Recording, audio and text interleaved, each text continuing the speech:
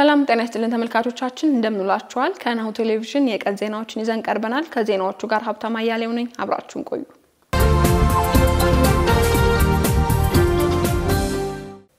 ወደ ቀዳሚ ዜናችን እንለፍ። የምህላና የጸሎት መርሃ ግብርን በተመለከተ የኢትዮጵያ ኦርቶዶክስ ተዋሕዶ ቤተክርስቲያን ቅዱስ ሲኖዶስ ማሳሰቢያ ሰጥቷል። የቅዱስ ሲኖዶስ ጽሕፈት ቤት በሰጠው ማሳሰቢያ የምህላና የጸሎት መርሃ ግብሩ ለሰባት ተከታታይ ቀናት እንደሚቆይም አስታውቋል። ቅዱስ ሲኖዶስ ባስተላለፈው ውሳኔ መሰረት ከህዳር 15 እስከ ህዳር 21 ቀን 2016 ዓ.ም የሚካሄደው የምህላና የጸሎት መርሃ ግብር ከላይ በተጠቀሰው ሰባት ቀናት ከማለዳው 12 ሰዓት እስከ ጠዋቱ አንድ ሰዓት ድረስ ይቆያል። በምሽት መርሃ ግብር ደግሞ ከምሽቱ 12 ሰዓት እስከ ምሽቱ አንድ ሰዓት ድረስ የሚከናወን ሲሆን ህዝበ ክርስቲያኑ በየአጥቢያ አብያተ ክርስቲያናቱ በመገኘት በመርሃ ግብሩ ላይ እንዲሳተፍም መልእክት አስተላልፏል። በኢትዮጵያ ሰሜናዊ ክፍል በረሃብ ምክንያት ሰዎች እየሞቱ መሆኑ ተገለጸ። በሀገሪቱ በትግራይና አማራ ክልሎች ከ50 በላይ ሰዎች በምግብ እጥረት ህይወታቸው ማለፉን ሰምቻለሁ ሲል ቢቢሲ የመገናኛ ብዙኃን ዘግቧል። በትግራይ በማዕከላዊ ዞን አበርገሌ ወረዳ የጭላ ከተማ 46 ሰዎች ድርቅ ባስከተለው ረሃብ እንደሞቱ መረዳቱን ዘገባው ጠቅሷል። በአማራ ክልል የዋግምራ ብሔረሰብ አስተዳደር ዞን ደግሞ ከድርቁ ጋር በተያያዘ የስድስት ሰዎች ህይወት አልፏል መባሉን ዘገባው አመላክቷል።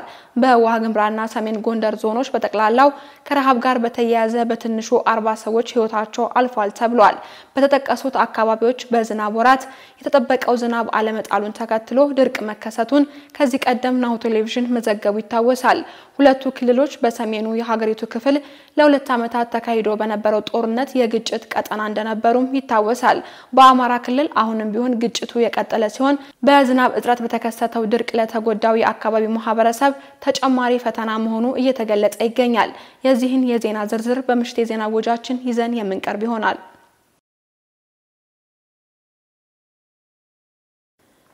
የአህያ ስጋ በአዲስ አበባ እየተሸጠ ነው በሚል በሚሰራጨው መረጃ ምክንያት የቀድሞ ገበያቸው በከፍተኛ ደረጃ መቀነሱን ነጋዴዎች ገለጹ።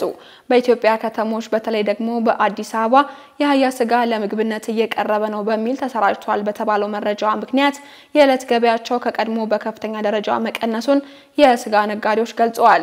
ጉዳዩ በዚህ የሚቀጥል ከሆነ ከገበያው እንዲወጡ ሊያደርጋቸው እንደሚችልም ስጋታቸውን አስረድተዋል። እንደ ስጋ ነጋዴዎቹ ገለጻ ደንበኞቻቸው ተደጋጋሚ የአህያ ስጋ ነው የሚል ጥያቄዎች እየቀረቡላቸው መሆኑን አስረድተዋል።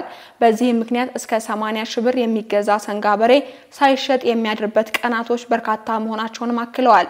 ስጋ ነጋዴዎቹ ከዚህ በፊት በአንድ ቀን ለገበያ ከሚያቀርቡት ግማሹንም ለመሸጥ እየተቸገሩ መሆኑን አክለዋል። ከዚህ አኳያ ሲታይ ሁኔታው አሳሳቢ ነው የሚሉት ነጋዴዎቹ ከገበያ አንጻር ከ10 እስከ 15 በመቶ የሚሆነውን ማጣታቸውን ገልጸዋል።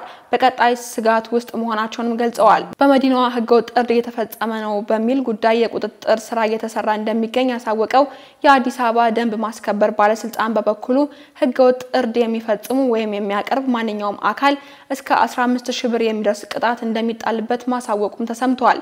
በመቶ ሺዎች የሚቆጠሩ አህዮች ቆዳቸው ተፈላጊ በመሆኑ ታርደው በአብዛኛው ከአፍሪካ ሀገራት ወደ ውጭ በመላኩ ምክንያት በአህጉሪቱ የሚገኙ የአህዮች ቁጥር እየተመናመነ መሆኑን መነገሩ ይታወሳል። የአህያ ቆዳ ለቻይና ባህላዊ ሕክምናና ለኮስሞቲክስ አገልግሎት ግብዓትነት በጥቅም ላይ እንደሚውልም መረጃዎች ያመላክታሉ።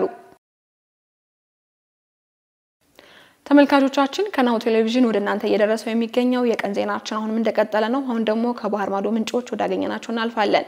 ኬንያ 35 የመንግስት ኩባንያዎችን ወደ ግል ልታዞር መዘጋጀቷን አስታወቀች። የኬንያው ፕሬዝዳንት ዊሊያም ሩቶ ኬንያ በኢኮኖሚ ችግር ውስጥ እንደምትገኝ ጠቅሰው 35 የመንግስት ኩባንያዎችን ወደ ግል ሴክተር ሊያዘዋውሩ መሆኑን ተናግረዋል። የኬንያ ኢኮኖሚ በኮቪድ-19 በዩክሬን ጦርነት ቀጥሎም በአፍሪካ ቀንድ በተከሰተው ድርቅ በክፉኛ የተጎዳ ሲሆን በሀገሪቱ ውስጥ ያለው የህዝብ ዕዳ በሰኔ ወር መጨረሻ ላይ ከ10100 ቢሊዮን ሽልንግ ወይም 64.4 ቢሊዮን ዩሮ በላይ ደርሷል።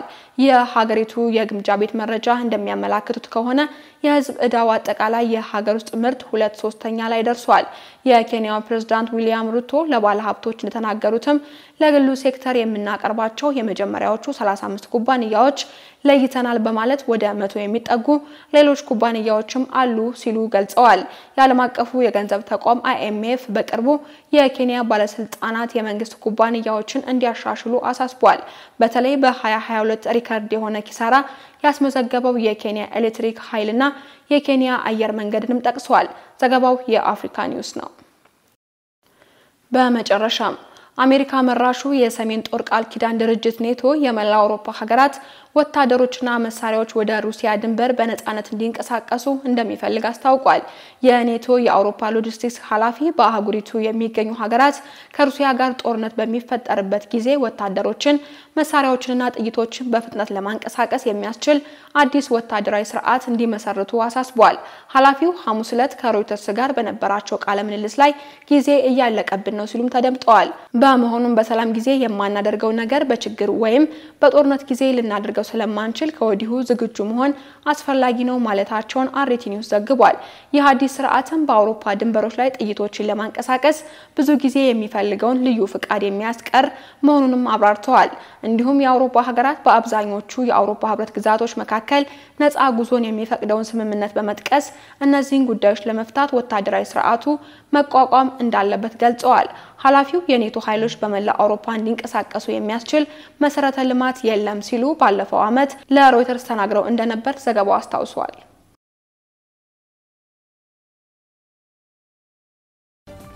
ተመልካቾቻችን ከናሁ ቴሌቪዥን ለቀን ያዝንላችሁ ዜናዎች እስካሁኖቹ ነበሩ። ዜናዎቹን እየመራው ከእናንተ ጋር አብሬ የቆየሁት እኔ ሀብታማ እያሌው ነበርኩኝ።